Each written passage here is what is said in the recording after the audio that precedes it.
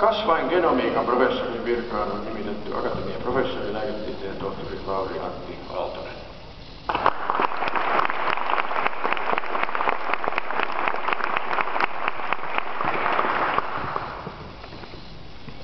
Eurooppa-oikeuden professorin virkaan on nimitetty professori oikeustieteen tohtori Juha Tapani Raitio.